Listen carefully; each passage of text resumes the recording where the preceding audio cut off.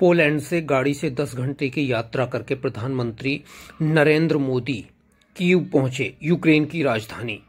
आप सबको पता है कि यूक्रेन और रसिया में युद्ध चल रहा है और उस युद्ध को करीब ढाई साल हो गए हैं। ऐसे में भारत का कोई पहला प्रधानमंत्री है वैसे भी जो यूक्रेन पहुँचा है।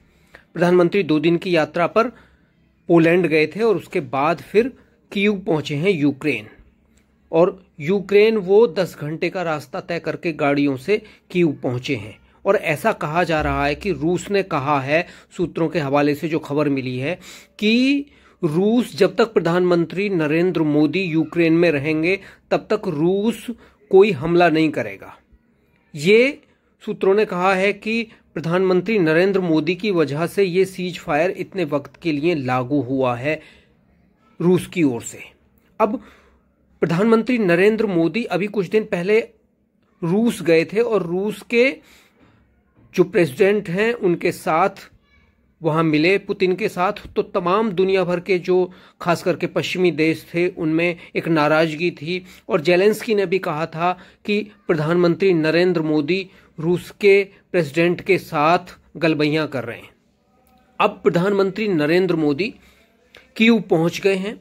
और यूक्रेन के प्रेसिडेंट से मुलाकात की और वहाँ पहले प्रधानमंत्री नरेंद्र मोदी का सभी ने स्वागत किया। लेकिन दोस्तों, ये जो भारत का अपना एजेंडा है, प्रधानमंत्री नरेंद्र मोदी ने कीव में प्रेसिडेंट जेलेंस्की से मिलते हुए साफ़ कर दिया। प्रधानमंत्री नरेंद्र मोदी ने शुक्रवार को कीव में यूक्रेन के राष्ट्रपति व्लादिमीर जेलेंस्की से मुलाकात की। जेलेंस्की से बातचीत के दौरान पीएम मोदी ने कहा कि युद्ध में भारत का रुख कभी भी न्यूट्रल नहीं था, बल्कि वह हमेशा से शांति का पक्षधर रहा है। यूक्रेनी राष्ट्रपति से बातचीत में पीएम मोदी ने संघर्ष को सुलझाने के लिए बातचीत और कूटनीति पर ज़ोर दिया। पीएम मोदी ने कहा कि रूस यूक्रेन युद्ध में भारत की स्थिति को दोहराते हुए युद्ध में और हिंसा कोई समस्या का समाधान नहीं है और क्षेत्र स्थिरता सुनिश्चित करने के लिए बातचीत और कूटनीति ही एकमात्र रास्ता है। पीएम ने कहा कि भारत शांति स्थापित करने के प्रयास में सक्रिय भूमिका निभाता रहेगा।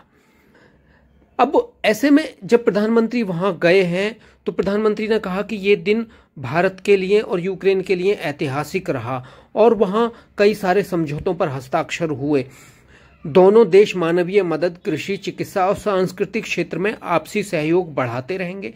लेकिन प्रधानमंत्री नरेंद्र मोदी ये बात सही है कि युद्ध को रुकवा सकते हैं, लेकिन क्यों नहीं रुकवा रहे हैं, ये अभी देखना है और कब रुकवाएँगे, क्योंकि मुझे ऐसा लग रहा है कि दोनों देशों से मिलना प्रधानमंत्री नरेंद्र मोदी का ये बात साबित कर रहा है कि दोनों को परख रहे हैं कि कौन कितना समझौता कर सकता है।